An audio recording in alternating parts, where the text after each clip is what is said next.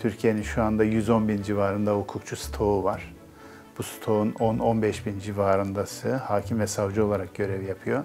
Geri kalanlar e, özel hukukçu ve avukat olarak görev yapıyorlar.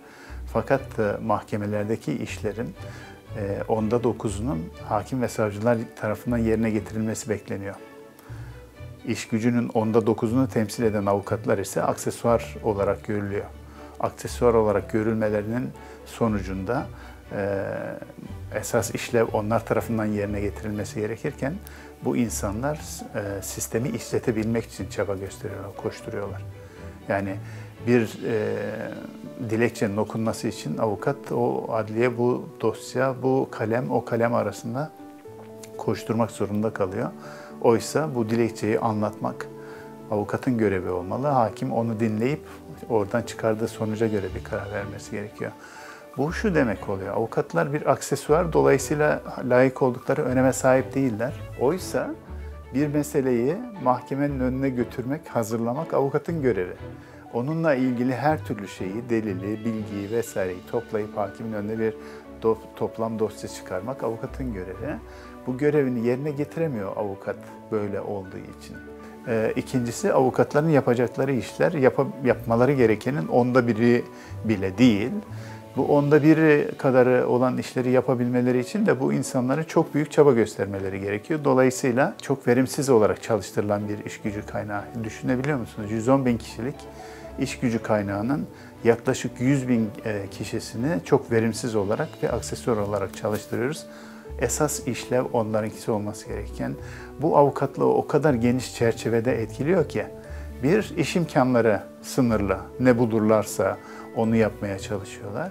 İş imkanları sınırlı olunca gelirleri sınırlı oluyor. Yaptıkları işler aksesuar olunca bunların mesleklerini geliştirmeleri tesadüflere, işte kişisel ihtiraslara bağlı oluyor.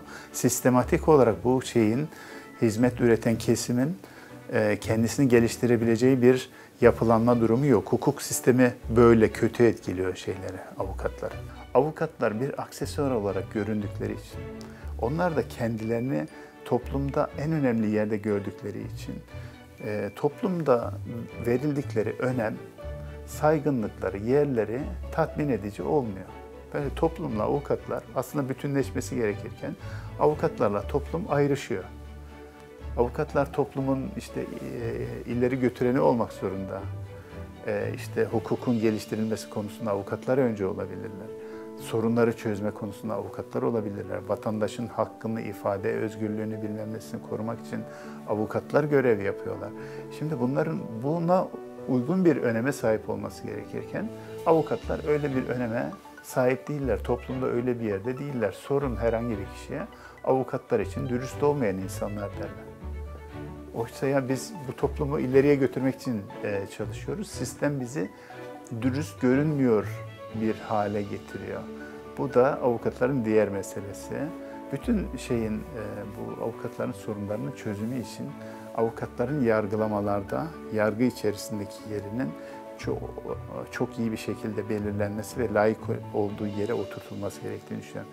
Bu da şöyle olabilir. Avukatlara görevlerinin gereğini yerine getirmek için yapmaları gereken bütün sorumlulukları vermek, yapmıyorlarsa hesabını etkin olarak sormak, yapıyorlarsa da sonuçlarında onların hak ettikleri şeyleri teslim edecek bir düzene kurmak olmalı.